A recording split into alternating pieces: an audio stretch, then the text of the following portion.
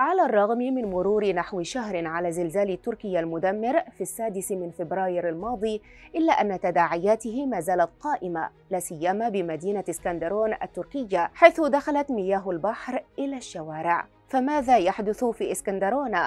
أفادت وسائل إعلام تركية أن مستوى سطح البحر في منطقة إسكندرون ارتفع وغمرت المياه الطرق وتم إجلاء السكان والعمال. وأثار ارتفاع منسوب مياه البحر المتوسط قلقا شديدا لدى السكان. من أن تغرق شوارع مدينة إسكندرون التابعة لولاية هاتاي في جنوب تركيا بالمياه وذلك بعد حدوث هزة أرضية وقعت في ساعة متقدمة من ليل الأحد الاثنين بقوة أربع درجات ونصف في المدينة. وارتفع مستوى المياه في شوارع المدينة إلى مستوى 50 سنتيمترا وهو ما جدد القلق من حدوث السونامي في المنطقة التي ضربها الزلزالان المدمران في السادس من فبراير الماضي.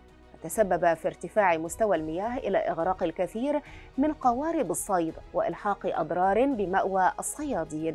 وأكد بيان لرئاسة بلدية إسكندرون أن ارتفاع مستوى المياه لا علاقة له بالهزة الأرضية التي وقعت ليلة الأحد في المنطقة الجنوبية الشرقية من البلدة. وأن الفيضان جاء من الجهة الجنوبية الغربية نتيجة لعاصفة شديدة. وأضاف البيان أنه لا يوجد موقف سلبي وأن عمليات الفحص التي يقومون بها مستمرة في جميع أنحاء المنطقة. وكانت إدارة الكوارث والطوارئ التركية قد أعلنت وقوع هزة أرضية بقوة أربع درجات ونصف على مقياس ريختر في خليج إسكندرون على عمق أكثر من خمسة كيلومترات تحت سطح البحر المتوسط ولم تسفر عن أضرار مادية أو بشرية. وأشارت الإدارة في بيان إلى أن هذه الهزة جاءت ضمن الآلاف من الهزات الارتدادية المتفاوتة الشدة والتي شهدتها الولايات الجنوبية والشرقية في تركيا عقب زلزالي السادس من فبراير الماضي والتي تجاوز عددها 13 ألفا. وتعد هاتاي من أكثر الولايات التي تضررت بزلزالي السادس من فبراير المدمرين. كما شهدت زلزالين عنيفين في العشرين من الشهر ذاته بقوة 6 درجات فاصلة أربعة وخمس درجات فاصلة ثمانية. وبعد الزلزال المدمر في السادس من فبراير الماضي نقلت وكالة الأناضول الرسمية عن مسؤولين في المدينة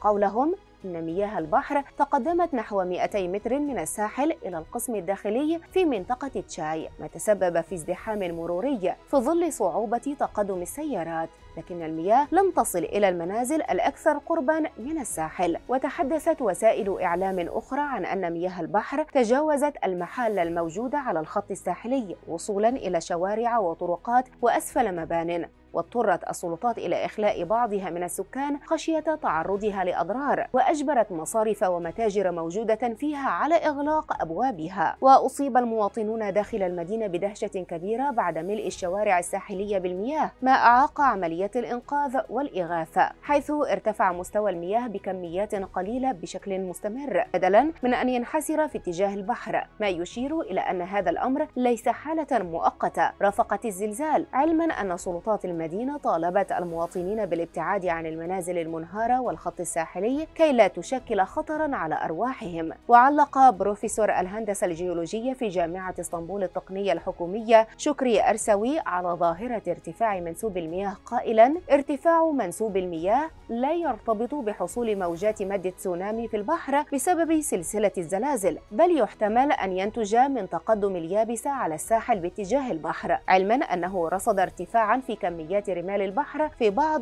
المناطق ويؤكد أن تقدم اليابسة في اتجاه البحر أدى إلى غمر هذه الأجزاء بالمياه وتبللها ما أدى إلى خروج المياه وتقدمها. ومن المؤكد أن هذا الأمر ليس بسبب حصول موجات التسونامي التي ترتبط بحصول زلزال داخل البحر وهو ما لم يحدث. ويتابع قائلا إن الاهتزازات في البر قد تكون أدت إلى حصول حالة هيلان في التربة باتجاه أسفل البحر وهو الاحتمال الثاني لحصول ارتفاع مستوى مياه البحر.